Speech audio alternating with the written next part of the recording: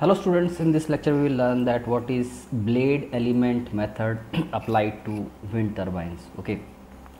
So I have developed this lecture an easy to understand lecture and I have divided this, this lecture into two parts. In the first part we will learn that what are the different kinds of forces developed on the blade of wind turbine as well as the velocity vectors means how to make, make the vector diagram associated with uh, wind turbine okay and in the second lecture I will tell about the associated derivations okay. So before understanding this blade element method let's have a short review on what is an aerofoil because the wind turbine blades the horizontal axis wind turbine blades are actually aerofoil shaped blades okay. So what is aerofoil? An aerofoil is a particular shaped solid body designed to develop more lift force compared to that of drag force when air flows over it okay so this is a particular kind of aerofoil particular kind of aerofoil shape okay? So what happens when wind flows over it then two kinds of forces are developed. One is a drag force d which is in the direction of wind flow parallel to the direction of wind flow and one is a lift force l which is perpendicular to the direction of wind flow. So l and d both are perpendicular to each other okay? So this is aerofoil so when wind comes then the first point at which it touches the aerofoil is called as the leading edge and ultimately the end point of the aerofoil is called as the trailing edge okay? So in case we are joining these two points the leading edge and the trailing edge then it is called as chord of aerofoil and this is the span of aerofoil means inside the screen the depth of the aerofoil okay? So the area of aerofoil also called as planform area is actually b into c okay? Now how much lift force is developed on aerofoil it is given by this expression L is equals to half rho A V square CL. Here rho is the density of wind or air, A is the planform area, C into B, V is the velocity of wind. And CL is the lift coefficient okay? And it is aerofoil specific means a particular kind of aerofoil, a particular shape of aerofoil has a particular lift coefficient it, it is an experimental data. So there are different shapes of aerofoil and for all shapes the experiment is done and the data is available over internet uh, in regarding the lift coefficient of aerofoil. Similarly, how much drag force is developed that is given by half rho a v square CD, CD is the drag coefficient. So, you can find a particular shape of aerofoil is there then you can find it in various literatures that what is the CL and CD of that aerofoil. Okay. Now, this is the velocity of wind the angle made by this chord with the velocity of wind is called as angle of attack denoted by alpha okay so in case we want maximum lift then that maximum lift can be generated at a particular angle of alpha only. There is a optimum there is an optimum angle of attack at, at which we will get maximum lift okay? So in short we have uh, reviewed this what is an aerofoil and what is uh, the lift force and drag force. Now coming to the point suppose this is our wind turbine this is the hub and this is the blade okay? So what happens in blade element method? Actually the blade is divided into number of segments. Can be 10 to 20 and each segment is analyzed for its force, torque and power development separately and the overall result is calculated by integrating the individual result of all the aerofoils. Okay. By this way we proceed to find the total amount of force developed on the blade, total torque and total power. Okay. So, this is what the blade element method is in a simple way we have understood. Now, suppose this is the blade of this uh, wind turbine and by the help of an horizontal plane we have cut this blade you can see this cut. So, in that case the view will be like this. So, you can see that this is an aerofoil shape and this is the exclusive view of that segment where uh, the cut is rendered by the help of this horizontal plane. Okay. So, this is the chord from leading edge to trailing edge and this is the thickness of aerofoil actually dr is b the span of aerofoil. So, the area of this aerofoil will be dr into c. Okay. Now, suppose wind is coming in axial direction with velocity Vd, this is the velocity vector of wind Vd okay, and this aerofoil, this uh, uh, rotor is spinning in clockwise direction in case we are viewing it from right to left. So, this blade is going inside the screen having some tangential velocity with it at a distance r in case we are taking some distance r and suppose omega r is the angular velocity of this rotor. So, at a distance r in case we want the tangential velocity of this blade then at that point it will be r omega r that will be the tangential velocity okay. Now what will be the actual velocity vector uh, which will strike this aerofoil that will be the relative velocity vector that is equals to Vr. How? See the wind turbine is spinning in clockwise direction okay? So the wind will have some relative component in tangential direction.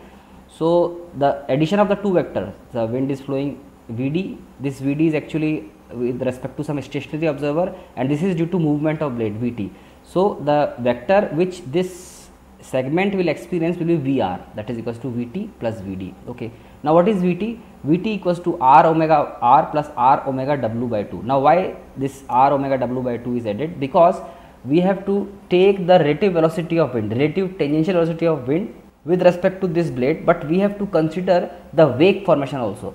So what the wake formation is, so I am showing you that also. So this in detail I have already shown in my another lecture that is momentum theory applied uh, when we are considering the wake formation for wind turbine okay? So what is wake formation? Suppose that wind is coming and striking this wind turbine from left to right and we are considering an imaginary wind ring. This is the imaginary wind ring okay? So it is purely moving in axial direction there is no rotation. So initially it has zero uh, rotational velocity means omega is zero finally when it strikes the blade and leaves then it becomes wake so this uh, wind ring when will become wake it will have some angular velocity that is equals to omega w. This is the wake angular velocity. Remember this thing that when the wake will form, the wake will start spinning in opposite direction to the direction of rotation of wind turbine. So what we see that when wind ring is coming then it has angular velocity 0 and ultimately when it is becoming wake angular velocity becomes omega w that is in opposite direction compared to the direction of rotation of this wind turbine okay?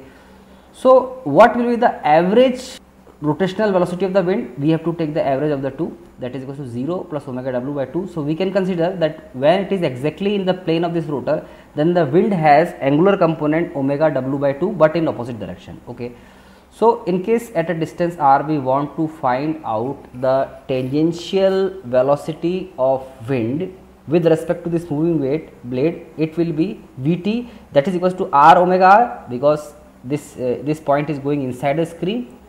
Plus since we are considering that wind is uh, spinning with average uh, angular velocity omega w by 2 so plus r omega w by 2 why plus because it is in opposite direction.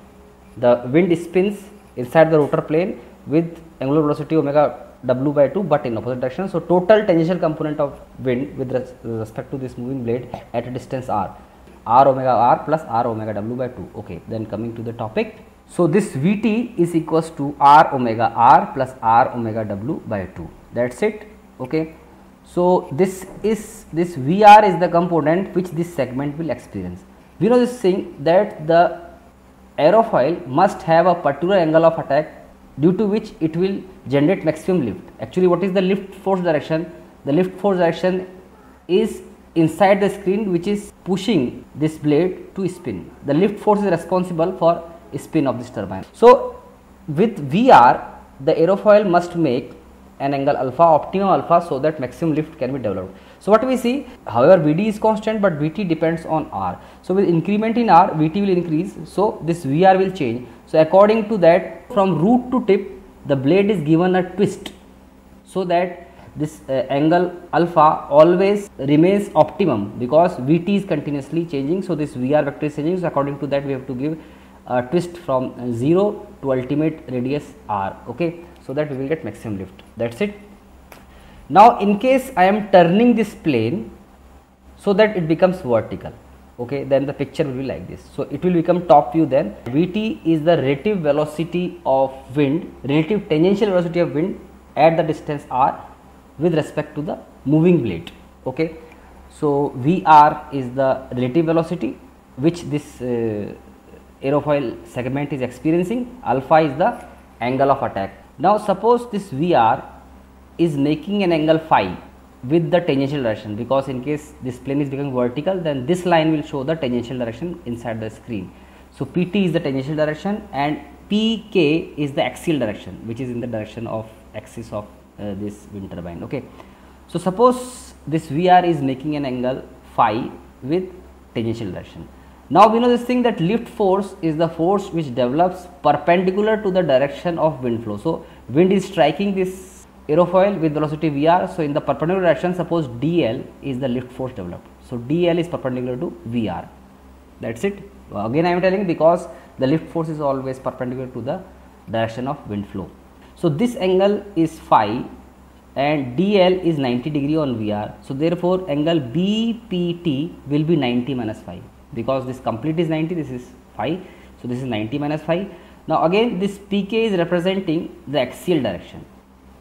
Okay? So this axial direction tangential direction both are perpendicular to each other and angle bpt is 90 minus phi.